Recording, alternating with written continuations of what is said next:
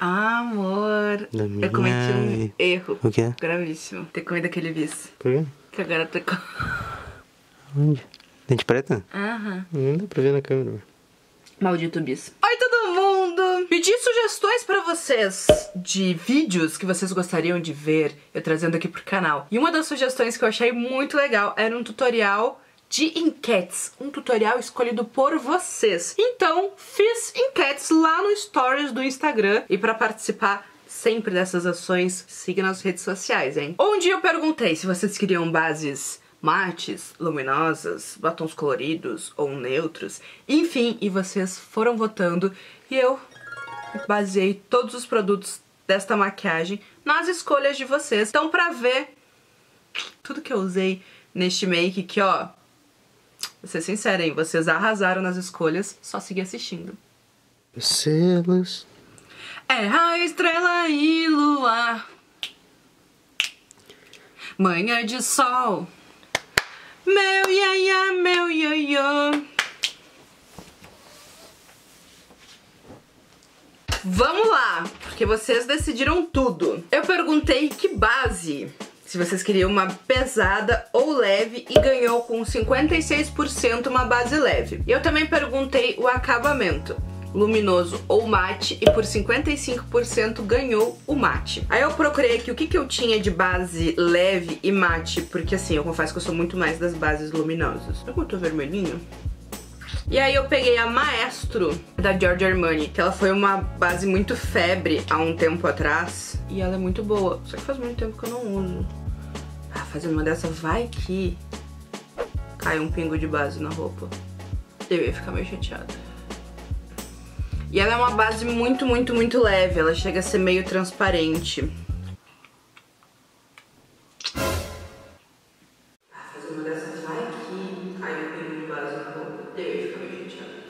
Caiu de base. Eu não tô acreditando. Olha! Eu sabia que isso ia acontecer. Boca maldita. Boca maldita. Agora eu vou seguir gravando esse vídeo puta da cara.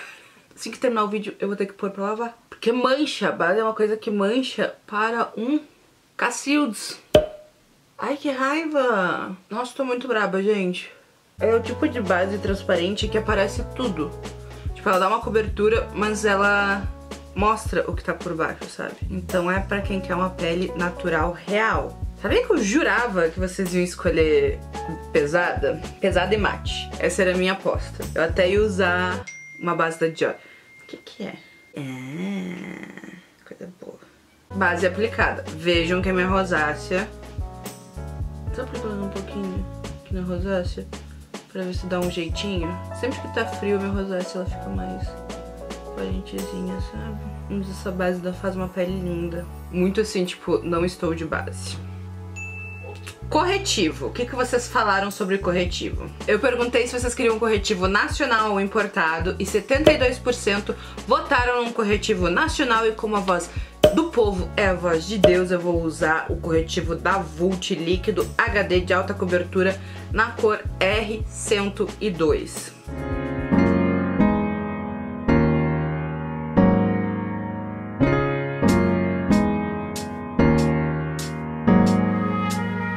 Quero muito saber se vocês compartilham de uma mesma opinião que eu. Sempre que eu vejo vídeo das gringas, onde elas aplicam muito produto em questão de base e corretivo, assim, muito mesmo, uma quantidade absurda, eu tenho a impressão que, que aquilo nunca vai espalhar e vai ficar uma crosta e que eu vou me sentir, tipo, muito mascarada, estranha. Vocês compartilham dessa mesma aflição que eu? Eu gosto de botar pouco produto no rosto. Aplicado o meu Aplicada a base, aplicado o corretivo. O pó eu não perguntei porque eu não tinha muito o que perguntar. Eu podia ter perguntado se vocês queriam pó solto ou pó compacto. Mas não perguntei, gente. Então vai ser o que eu peguei, que é o pó de sempre. Next to Nothing da MAC. Não, e o alongamento, que esse olho ainda tá bem cheião e esse daqui tá capenguíssimo. Tipo, esse daqui sobrou três fiozinhos. Mas já vou fazer o retoque. A atenção tá marcada para depois de amanhã. Muito triste um olho como e outro sem. ai, ai. E também não perguntei nada de contorno, só de blush. Então eu vou usar uma duplinha pra contorno e iluminação que eu curto muito, que é o Ola, da Benefit.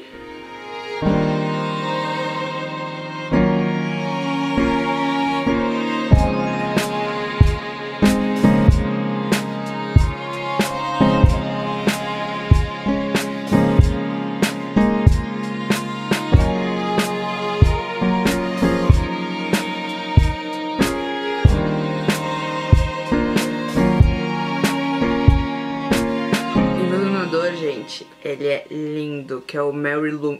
Ai, ele quebrou e aí eu dei uma compactada, mas não tá bem santo. Mary Lou Maina... Mary Lou Manizer da The Balm. É maravilhoso. Gente, sério. Olha isso.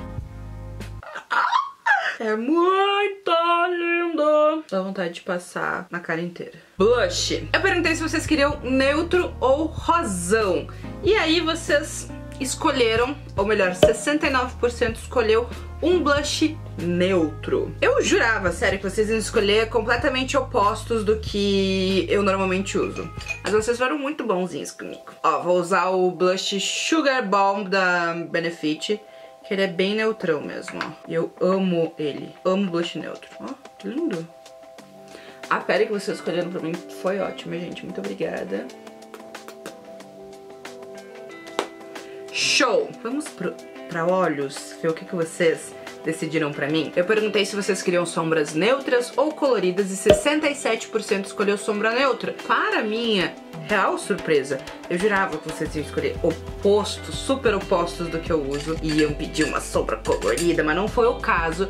Eu escolhi duas paletinhas pra usar, que foi a Naked Basics. A primeira tá velhíssima. Olha, eu usei muito essa paleta. Muito, muito. Muito bacana, muito ameno. Ela tá, ó, velha de guerra. E separei também essa paleta aqui da Lorac. Lorac, que é neutrinha, ó. Mas pensando nessa sombra aqui. Bem linda. Porque apesar de vocês terem escolhido um olho neutro, eu quero fazer um olho neutro um pouco mais escuro. Eu tô muito indignada com essa mancha de base. Ai, se eu não sair mais da minha blusa, gente, o que eu faço? Ó, com um pincelzinho de cerdas curtas, eu vou pegar esse tom de marrom opaco e vou aplicar rente aos meus cílios. Não passei primer nem nada, tá? Tô indo só na fé de que as sombras são pigmentadas. Ó, e agora eu puxo uma linhazinha, ó, partindo aqui dos meus cílios em direção ao final da minha sobrancelha e já vou dando uma puxada nela. Quem lembra dos tutoriais vai lembrar que eu sempre uso essa técnica. E segue, viu, gente? Eu acho essa, assim, uma boa guia. Não achei essa sombra tão pigmentada, mas tudo bem. Pincelzinho chanfrado, vou pegar ela mesma e, ó, côncavo. Fiz uma boa base pro meu olho. E agora eu vou vir com um tom pretinho da paleta. Com muito cuidado, porque esse preto é pigmentado. Ó, e um pincelzinho assim mais lapisinho. Cara, é pigmentado para um Cacildes. Só escurecendo o cantinho externo. Sério, eu encostei o pincel na sombra. É muito pigmentado. Agora, Vou vir com o pincel de aplicação de sombra e essa sombra meio marrom, meio vinho, linda por sinal, e bem mate. E vou aplicar aqui, ó, na minha pálpebra móvel. Vou pegar a sombra mais clarinha da paleta e vou iluminar rente aos cílios. Rente aos cílios eu falei, rente à sobrancelha. Bem louca eu. Aqui no cantinho interno. Eu tô mal de lápis beges e brancos e coisas. Então eu desenterrei um jumbo da NYX na cor Milk. Vou passar na linha d'água. Certo? O que mais que eu perguntei sobre olho? Eu falei que vocês votaram em sombra mate? 61%. Porque eu, eu já tinha visto as respostas. Não esqueça, hein? Para tudo que tá fazendo, já dá um like nesse vídeo, se inscreve no canal caso ainda não seja inscrito e ative o sininho da notificação. Perguntei se queriam delineado, sim ou não, e 83% voltou que sim, porque ó, vocês são as loucas do delineado. Então vou pegar o delineador em caneta da Panvel, muito bom, por sinal, viu? Barateza e bom mesmo. E vou fazer um gatinho. E vou falar, ó, alongamento de cílio complica a vida da delineado. Não é muito fácil, não. Eu tô louca no delineador em caneta da Kat Von D, que eu testei no evento da Sephora. E, gente, é muito bom. Mas esse da Panvel também é ótimo, acho que quebra o galho. Ai, como é difícil fazer delineador com alongamento.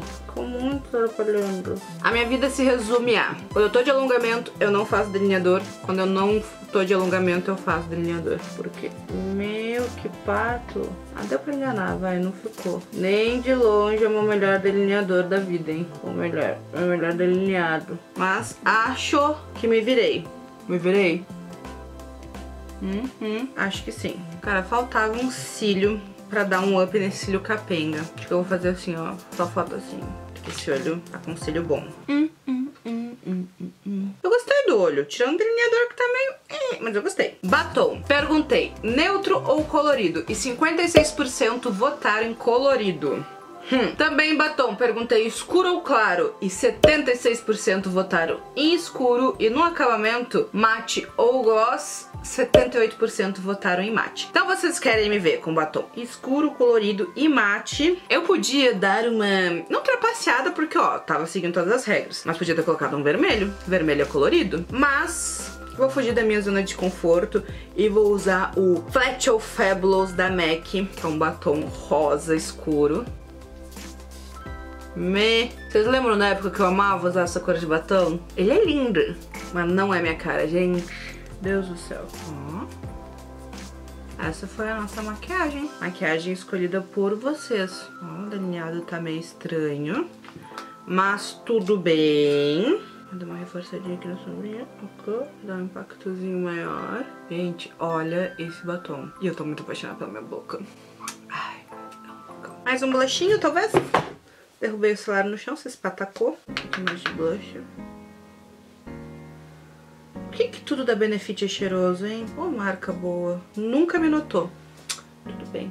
Bem neutro mesmo, né? Mas é ótimo. E é isso! Essa foi a minha maquiagem escolhida por vocês. E eu gostei. Ok que o batom, né, não seria a minha escolha, mas eu acho...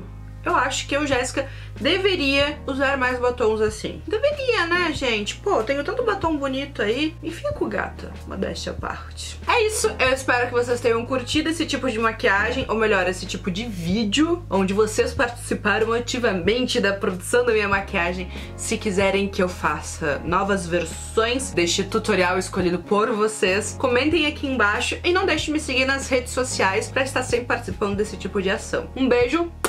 E até o próximo!